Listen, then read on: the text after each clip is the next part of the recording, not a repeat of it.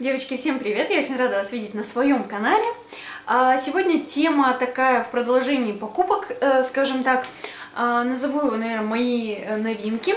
А, в общем-то, в покупках я вам забыла, точнее даже не то, что забыла, все-таки решила не показывать одну такую вещь, которую я еще на тот момент плохо протестировала. И решила вот рассказать о ней сейчас. Эта вещь называется вот так вот на английском языке. А, в общем-то, это праймер для теней от Rimmel. А, в общем-то, что тут написано? А, Shadow Primer. Да, вот так вот. На русском тут я не нашла ни одного слова. Когда я была в магазине, это был магазин Диона, для тех, кто живет в Астане, тот, который находится недалеко от Евразийского университета, я искала э, себе базу под тушь. Я тогда не смогла найти э, базу от Эвелин, мою любимую. И почему-то, вы знаете, как-то я вот посмотрела вот на вот этот тюбичек. Он похож на тюбик с тушью, согласитесь. Э, и лежал, по-моему, в отделе, где лежали туши. И я подумала, что это база под тушь, и купила его. А, ну, каково же было мое удивление, когда я дома открыла и увидела, что Здесь а, вот такой вот наконечник, и тут до меня дошло, что это база под тени. А, я не знаю, новинка это у Rimmel или нет, но я решила вот попробовать. А, само средство выглядит очень интересно. Это такая вот белая перламутровая такая какая-то вещица. Вот так вот она выглядит. Я вот просто нанесла ее на кожу и не растушевала. И по ощущению она немножко такая жирноватая, скажем так. Когда вы ее разносите, немножко чувствуется, что она как будто на силиконе, вот какое-то вот такое ощущение. Когда вы ее растушевали, есть вот такой вот легкий перламутровый эффект. Когда воспользовалась ей первый раз, честно скажу, девочки, она мне не понравилась вообще. А, мне казалось, что тени на ней плохо тушуются. А, в принципе, держатся тени на ней нормально. Ну, нам, так сказать, у меня веки не жирные, на мне любые тени держатся нормально. Но я решила пользоваться и дальше и, так сказать, сравнивать свои ощущения. А, я поняла, что эту вещь надо наносить совсем чуть-чуть, и очень хорошо тушевать пальцем. Дать какое-то время высохнуть ей на вашем веке, только потом а, наносить тени. Также эта вещь а, не подойдет, если вы хотите полностью матовый макияж, матовые тени на вашем веке. Потому что она все равно будет придавать легкий перламутр. А, но в целом, в целом, а, в принципе, держатся на ней тени действительно неплохо, и растушевать их тоже можно хорошо, но надо сначала, чтобы она слегка высохла. А, что еще? А, если все-таки вы используете такие сатиновые тени, либо шиммерные, то она вам сыграет на руку, потому что она поможет как бы придать дополнительный блеск вашим теням.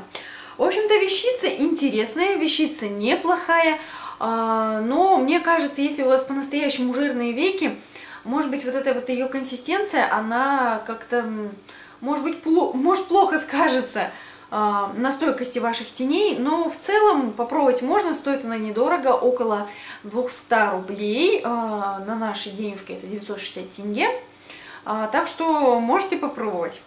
И вторая новинка, я ее выиграла в конкурсе у матрешки, у Сонечки, уже довольно-таки давно, палетка от Wet n Wild это было мое большое желание иметь палетку этой фирмы.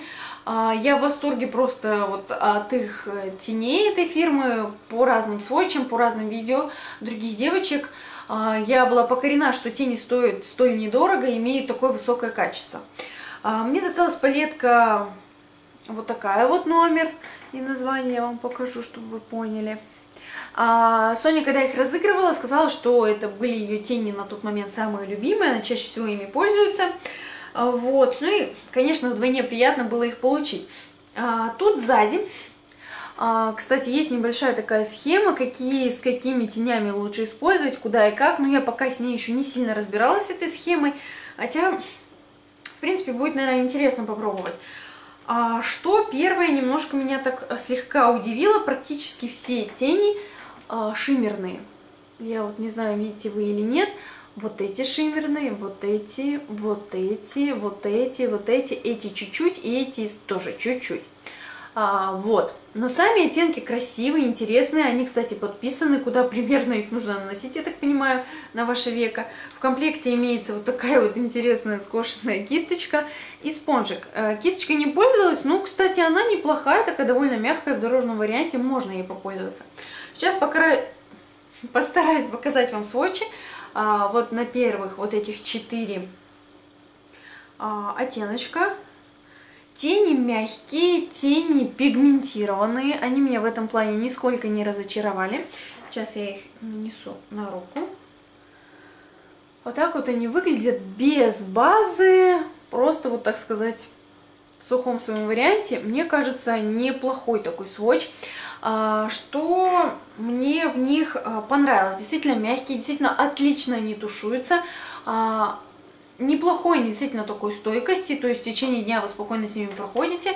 Но немножко меня разочаровало то, что вот эти вот оттенки как бы потемнее с шиммером. Сейчас я вам покажу еще, кстати, остальные сводчи, и мы уже дальше поговорим.